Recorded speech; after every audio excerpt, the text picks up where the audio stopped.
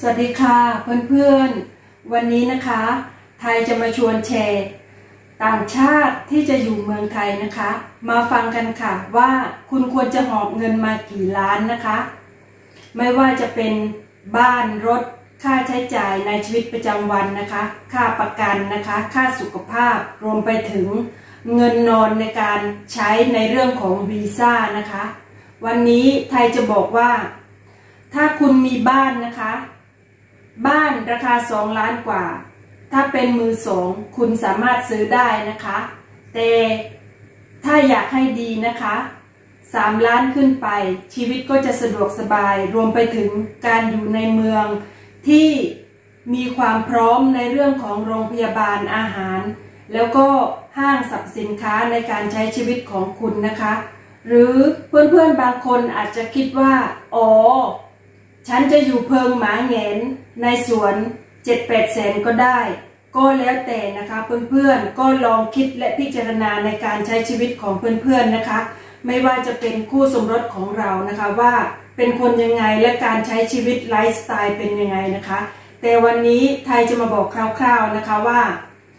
ถ้าคุณคิดจะอยู่เมืองไทยนะคะ ต่างชาติ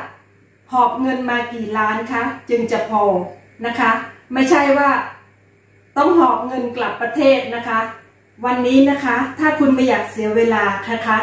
มาฟังด้วยกันค่ะ ไทยจะเล่าให้ฟังคร่าวๆนะคะ ก็ถ้าคุณมีบ้านมีรถนะคะ ค่าใช้จ่ายก็จะตามมานะคะ ไม่ว่าจะเป็นค่าน้ำค่าไฟค่าประกันนะคะ ค่าประกันบ้านนะคะ แต่ละเดือนนะคะ หรือว่าคุณจะจ่ายเป็นปีก็แล้วแต่คุณนะคะ หรือว่าค่าประกันรถนะคะ ประกันชั้นหนึ่งหรือว่าจะเป็นประกันชั้นสองก็แล้วแต่คุณนะคะ ต่อไปนะคะ รวมไปถึงค่าใช้จ่ายในชีวิตประจำวันนะคะ คุณจะไปจ่ายตลาดตามตลาดทั่วไปหรือว่าคุณเป็นคนที่ชอบเดินห้าง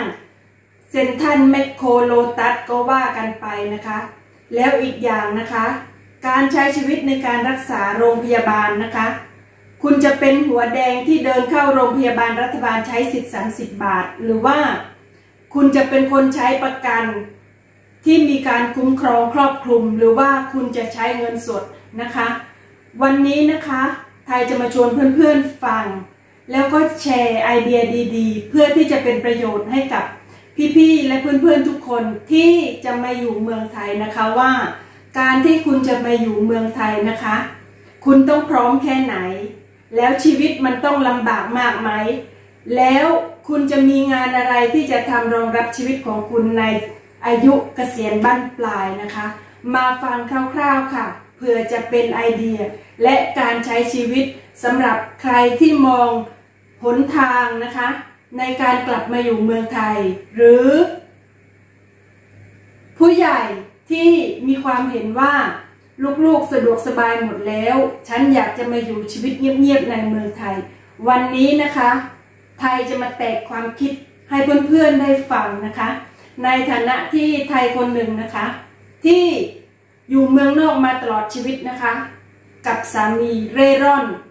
ต้องเรียกว่าเร่ร่อนนะคะเพื่อนๆและครั้งหนึ่งครอบครัวของไทยก็เคยให้ฉายาว่า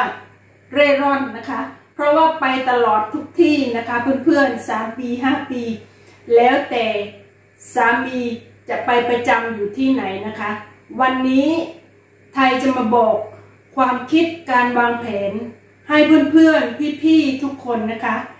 ได้กลับมาใช้ชีวิตและมีแผนดีๆ ร่วมกันมาฟังด้วยกันนะคะ